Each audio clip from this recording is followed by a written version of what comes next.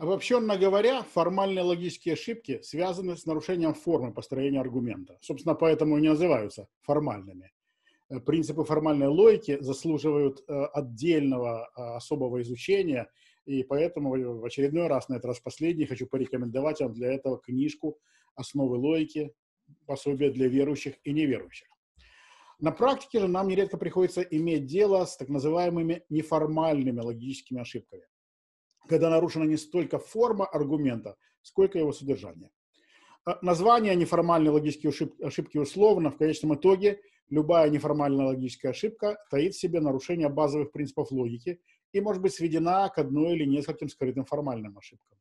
Но поскольку очень важно уметь своевременно различать ошибочные утверждения и обличать их, из чисто практических соображений имеет смысл рассматривать основные разновидности неформальных логических ошибок и систематизировать их по категориям. Неформальные логические ошибки возникают при рассуждении, когда в приведенном для обоснования тезиса доводе используется что-нибудь неясное, недоказанное или вообще не имеющее отношения к основному тезису. В соответствии с этим неформальные ошибки можно разделить для практического удобства на три типа. Ошибки неясности, ошибки допущения, ошибки уместности. Ошибки неясности предполагают неясность в рассуждении, наличие чего-нибудь неоднозначного, нечеткого или расплывчатого в употребляемых словах или в способе их выражения. Ошибки допущения возникают, когда а, для обоснования тезиса используются необоснованные и недоказанные суждения. Ошибка уместности – это когда вывод не имеет какой-либо логической связи, как минимум с одной из посылок вовсе. А, впрочем, это разделение тоже условно из-за неформального характера ошибок. Некоторые из них могут быть отнесены к разным типам в зависимости от контекста, в котором ваш собеседник их неосмотрительно совершает, а, либо же прибегает неумышленно в качестве политического, полемического приема. В последнем случае их следует называть уловками. Однако это ни в коем случае не устраняет их логической ошибочности.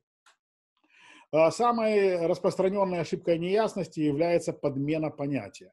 Это логическая ошибка, возникающая при изменении значения слов в ходе рассуждения. Она э, предполагает непосредственное нарушение закона тождества, согласно которому все понятия в ходе рассуждения должны сохранять свои значения. Совершая эту ошибку, мы фактически рассуждаем о нескольких предметах, не проводя различия между ними. В итоге создается впечатление, что речь идет об одном и том же. В случае, когда нарушение закона логики очевидно, данная ошибка может рассматриваться как, как формальная. Ну, например, если я говорю, необходимо бережно относиться к природе, зайцы – часть природы, поэтому нельзя наказывать зайцев, не оплативших проезд в общественном транспорте. Я подменяю понятие зайцы как вид животных тем же словом на сленге, означающим безбилетника. А, так что если, скажем, на вопрос, верите ли вы в Бога, вы слушаете ответ, конечно, верю, Бог же один для всех, не торопитесь видеть в собеседнике своего единомышленника, тем более единомышленников всех. Прежде следует определиться, а, что, что каждый из вас подразумевает под словом Бог. Бесполезно спорить о Божьих атрибутах, прежде чем вы установили, какой смысл ваш оппонент вкладывает в это слово. Имеет ли он в виду библейского Творца, или же некий вселенский разум, или э, гипотетическую космическую силу, или абстрактную безликую первопричину. Если ваши фундаментальные определения не совпадают, бессмысленно добиваться согласия в деталях. Даже если вы сойдетесь в высказываниях, за ними будут стоять разные идеи.